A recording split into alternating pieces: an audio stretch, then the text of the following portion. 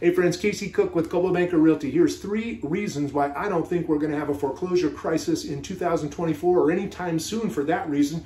Number one is people are sitting on a tremendous amount of equity and lack of equity is the number one reason people fall into foreclosure. People often think it's, you know, it's a job loss or, you know, lack of income or a death in the family and those things may lead to it but if you have equity, you can sell and you can move on. If you don't, guess what? Oftentimes you slide into foreclosure.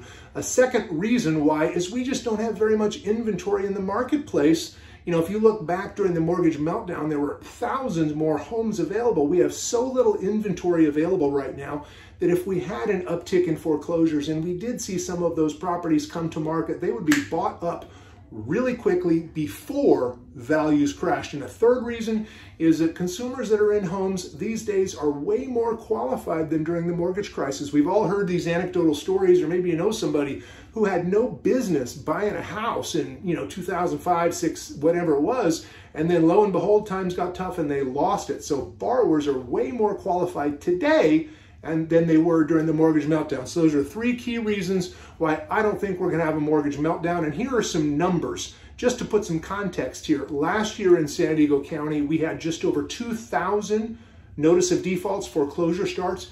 You look back to the mortgage meltdown, that number was up around 45,000 at the height. So we are at a fraction of what we had back during the mortgage meltdown, and I don't see it taking off anytime soon. I hope that's helpful. If you have any questions, feel free to reach out anytime. 760-330-3616. Thanks for watching, and we'll catch you on the next video.